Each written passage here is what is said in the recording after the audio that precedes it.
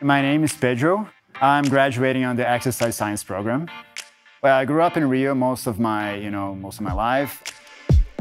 I was always been in sports. I was always going to the gym, you know, doing all sorts of things. Always. I was always super active.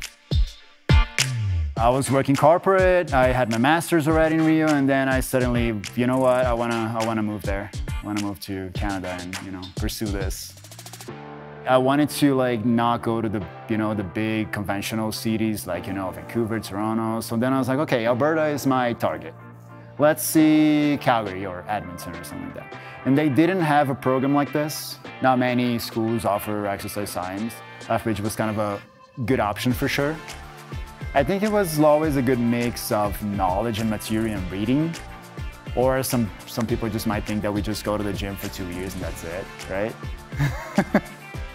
but we learn about programming, we learn nutrition, we learn so much stuff. We learn proper form.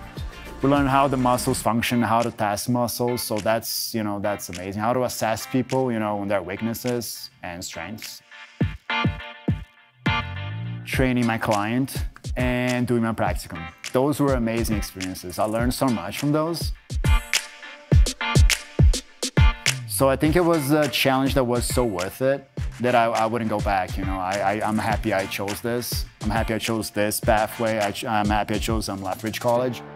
I feel like I'm ready. You know, I feel like it can help so many people.